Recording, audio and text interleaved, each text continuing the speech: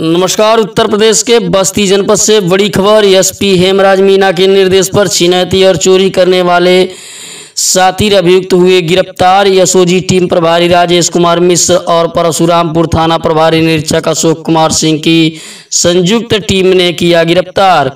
Police ने अभियुक्त मुकेश कुमार यादव और विजय चौहान को किया गिरफ़्तार। पुलिस ने अभियुक्तों के पास से चोरी के दो मोटरसाइकिल बारह हज़ार रुपये विभिन्न स्थानों पर चोरी की गई सात मोबाइल, एक कट्टा तीन सौ पंद्रह बोर, दो ज़िंदा कारतूस, एक कट्टा बारह बोर, दो ज़िंदा कारतूस किया बरामद। अभियुक्त मुकेश कुमार यादव के खिलाफ दर्ज है पहले से आठ मुकदमे और विजय चौहान के ऊपर पहले से दर्ज हैं बारह मुकदमे। एसपी हेमराज मीना ने प्रेस कॉन्फ्रेंस कर किया घटना का खुलासा। प्रेस कॉन्फ्रेंस के दौरान एएसपी रविंद्र कुमार, सिंह सीओ हरैया शेषमणि उपाध्याय रहे मौजूद।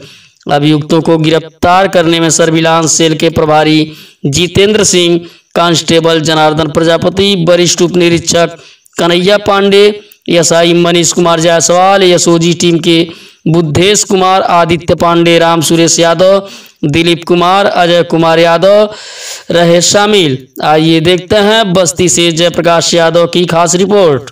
तो चोर पकड़े गए किस तरीके से चोर पकड़े गए सर देखिए उनतीस तारीख को एक घटना हुई थी थाना परशुरामपुर क्षेत्र में जिसमें एक महिला के झोले में से पच्चीस हज़ार रुपये लेके कुछ लोग भाग गए थे।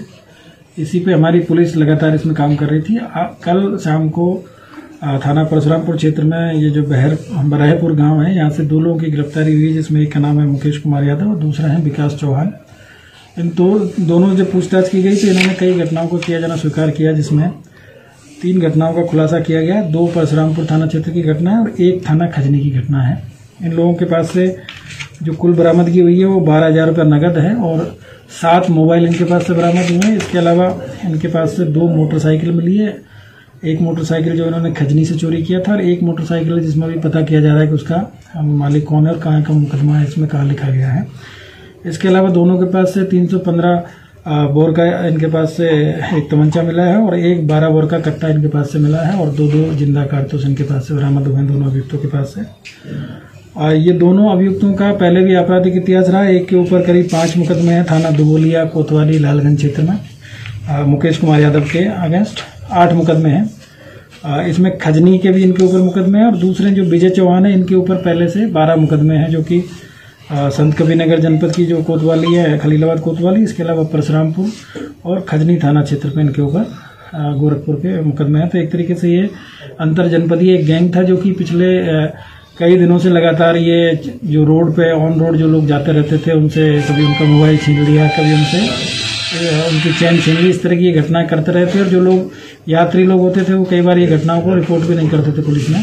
तो कुछ इस तरह की जानकारी मिली है कि कुछ घटनाओं की पुलिस में रिपोर्ट नहीं हुई थी। सौ नंबर पे भी हमने, एक सौ बारह नंबर पे भी इसका पता किया था तो वहाँ पे भी रिपोर्ट नहीं हुआ है।